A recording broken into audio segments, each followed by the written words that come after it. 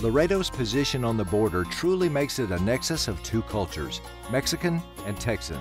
And if you reach into its history, you'll find plenty of old world Spanish culture too.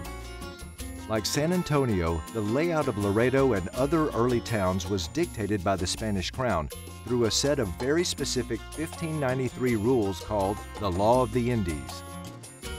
What we may regard as the very definition of Mexican town planning, the open town square, really has its roots in Spain.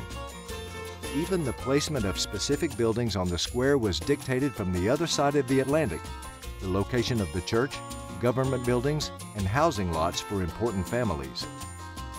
As you visit other old towns on both sides of the border, you'll begin to notice the lingering impact of 16th century Spain.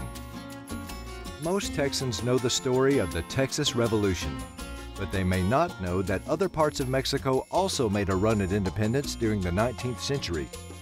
Inspired by Texas's example, three of Mexico's most northern states attempted to secede and create their own country to be called the Republic of the Rio Grande. However, public support at the time was limited, and an armed revolution never materialized, which made the entire affair a footnote in history. Laredo was to have been the capital of this breakaway republic and remains a town balanced between two cultures. As you explore Laredo's downtown, the city's fabric feels decidedly old world. This is partially due to its scale. The size of the blocks and the widths of the streets are smaller than in other towns in the state.